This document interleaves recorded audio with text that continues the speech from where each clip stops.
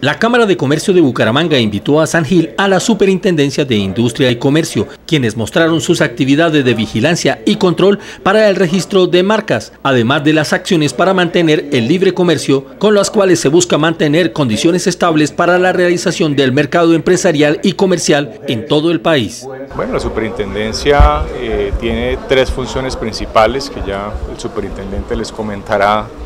eh, cuáles son, pero principalmente una función de eh, de vigilancia y de, control de temas de competencia, otra registral y otra en la que actúan como unos eh, jueces frente a los casos que se presentan. Eh, y en ese sentido, pues nosotros como Cámara apoyamos directamente la gestión de la superintendencia a través de la remisión de las quejas que, se nos presentan por parte de los empresarios y, y entendemos que es una gestión desde luego que es muy valiosa para para poder mantener ese juego limpio en, eh, eh, los mercados empresariales que, sin duda alguna pues es eh, de vital importancia para poder preservar la libre competencia. Este es otro viaje de la superintendencia en el programa SIGMóvil en el que recorremos distintos lugares del país, esta vez en algunos municipios del departamento de Santander, en, San Gil, en Socorro, vamos a ir a, Vélez también, eh, compartiendo con los empresarios, contándole a los empresarios qué hace la superintendencia, para qué sirve, por qué lo hace, absolviendo inquietudes y dudas de ellos, eh, con eh,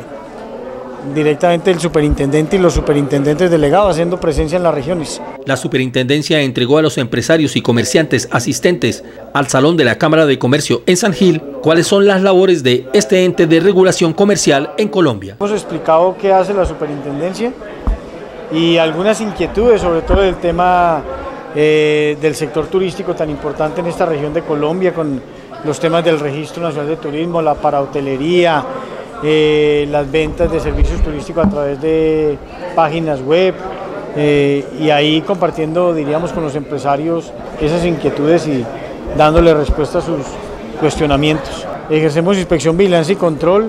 hacemos control de legalidad sobre los actos del registro, eh, controlamos su sistema electoral y tratamos de garantizar que las cámaras funcionen como lo que deben ser, como instituciones de fomento empresarial y de desarrollo regional, eh, como lo vienen haciendo las cámaras y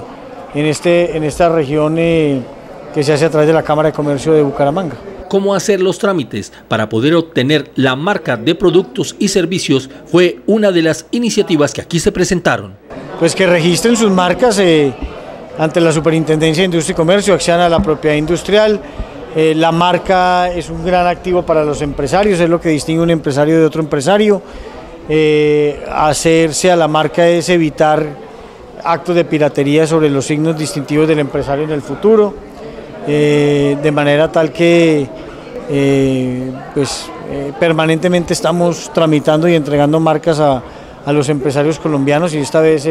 entregamos cuatro en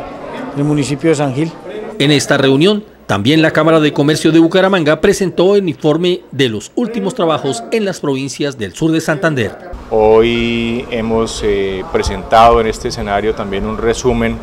de lo que hemos venido haciendo durante el último año en eh, las provincias. Hemos presentado pues una serie de proyectos que estamos ejecutando y que hemos venido ejecutando eh, últimamente en, en, las provincias Guarentina, Comunera y. Eh, entre ellos está el proyecto con Artesanías de Colombia, en hemos beneficiado una gran cantidad de empresarios de este sector, de igual manera con el sector agropecuario, todo lo que hemos venido haciendo, las alianzas productivas, con el clúster de cafés especiales, que también es un potencial muy importante que se tiene en la región, en el tema del clúster de turismo, que también hemos venido trabajando en la alianza por el turismo que estamos propiciando junto con la gobernación de Santander, es decir, una gran cantidad de esfuerzos que hemos venido haciendo en la región y que sin duda alguna pues respaldan todo ese trabajo que se ha venido haciendo por el desarrollo eh, de las provincias del sur de Santander.